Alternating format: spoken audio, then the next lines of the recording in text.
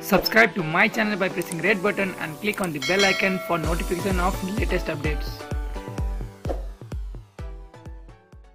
प्रधानमन्त्री केपी शर्मा ओली नेतृत्वको मन्त्री परिषद पुनर्गठन हुने पक्का भएको छ तर को को हट्ने को को मन्त्री बन्ने भन्ने छलफल हुन बाँकी छ पार्टी कार्यालय त्रिगडामा आइतबार बसेको सत्तरोड दल नेपाल कम्युनिस्ट पार्टी नेकपाको सचिवालय बैठकमा नेताहरू सरकारलाई प्रभावकारी बनाउन मन्त्रीमण्डल पुनर्गठन गर्ने निष्कर्षमा पुगेका हुन्। बैठकमा प्रधानमन्त्री एवं अध्यक्ष ओलीले मन्त्री परिषद पुनर्गठनको तीन विकल्प पेश गरेको स्रोतले जनाएको छ। पहिलो अहिलेका सबै मन्त्रीलाई हटाउने दोस्रो सुरुमा मन्त्री भएकाहरूलाई हटाउने तेस्रो केही मन्त्री हटाउने र केहीलाई निरन्तरता दिने। बैठकमा अध्यक्ष पुष्पकमल दाहाल प्रचण्ड सहित अधिकांश नेताले सबै मन्त्रीलाई एकसाथ हटाउन नहुने धारणा राखेका छन्। सबै मन्त्रीलाई हटाउने भन्दा पनि राम्रा काम गरेकालाई निरन्तरता दिनुपर्छ प्रचण्डले भनेका छन्। तर धेरै नयाँ राख्नु उपयुक्त हुन्छ।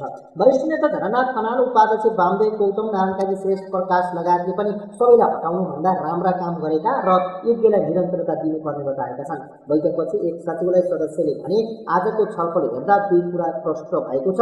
मन्त्री परिषद पुनर्गठन हुन्छ र सबै मन्त्री हट्दैनन्। तर को को हट्ने को को मन्त्री बन्ने कहिले मन्त्री परिषद पुनर्गठन गर्ने भन्ने जस्ता विषयहरू टुङ्गिन बाँकी छ पार्टी प्रवक्ता नारायण काजी श्रेष्ठ प्रकाशले पनि सरकारलाई प्रभावकारी बनाउन मन्त्री परिषद पुनर्गठनबारे सैद्धान्तिक छलफल भएको सञ्चारकर्मीहरूलाई जानकारी दिएका छन्। अर्का सचिवालय सदस्यका अनुसार मन्त्री परिषद पुनर्गठन दसैँ अगाडि नै पनि हुन सक्छ। दसैँ पछाडि पनि धकिलिन सक्छ।